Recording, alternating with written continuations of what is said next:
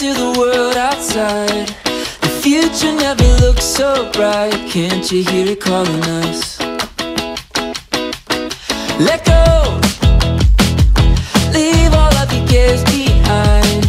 You never know where you might find sunny days are coming up. Today is our 46th class reunion. Nag-graduate kami 1977. Nagpapasalamat ako sa lahat ng mga classmates namin na nakadalo, lalong-lalo na yung mga nanggaling pa sa abroad, including um, memories. Nandito rin si Miss Sabido, our third year uh, class advisor. Terror siya, but we love her. We thank her dahil stricto siya. Natuto kami mag-aral and matuto sa math. So thank you classmates. Thank you for being here and welcome. Yeah,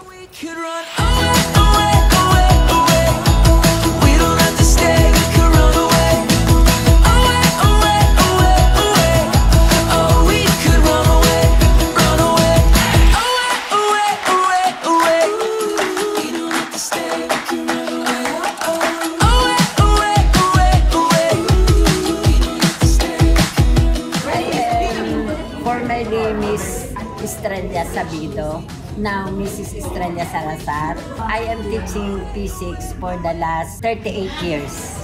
I am very happy to be with them. It's my honor that I am invited in this gathering kasi for the last 46 years, ah, kukunti yung namimit ko sa kanila for the last six- 46 years.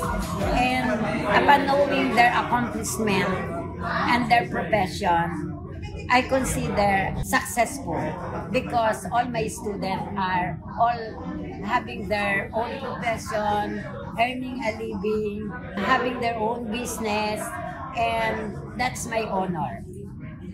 That's my honor.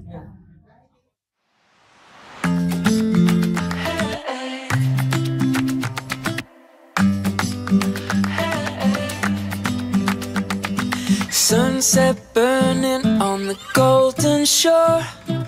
Never seen a view like this before. The stars they shine like diamonds in your eyes. Black dress on you got me hypnotized. I keep feeling away, I keep feeling away, I keep feeling away about you. I'm so glad na to be a part of this special occasion. Uh, nung pong 2017, although I made it to the Philippines, na-miss ko rin yung reunion namin kasi nakatulog po. Pero ngayon, sabi ko, I have to make both elementary and high school reunion. You make me feel so good. Feel so good. This was my first time to attend the reunion. Yeah, uh, I missed it most because of work. My message is don't stop the communication so that we would be uh, united like like high school days. I'll miss you all, and then I'm looking forward to the next reunion. Thank you.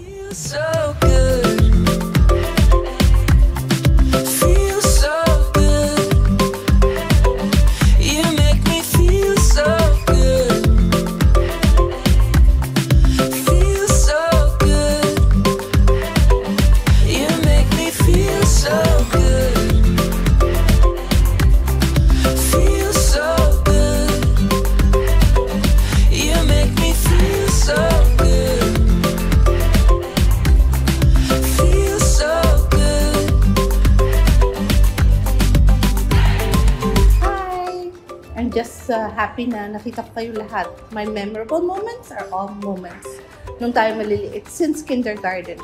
I remember yung mga kalaro ko but I can't remember their names kasi matagal na ako wala dito. But I'm so happy na nagkita tayo.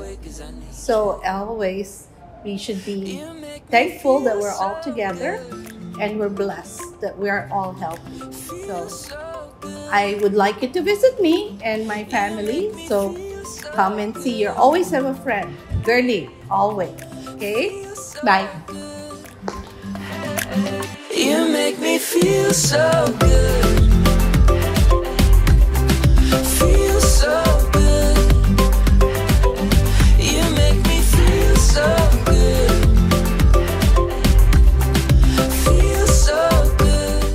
Happy that naka-reach tayo ng 46th anniversary natin. And then, we'll be seeing again each other sa next years to come. Okay, see you! so good.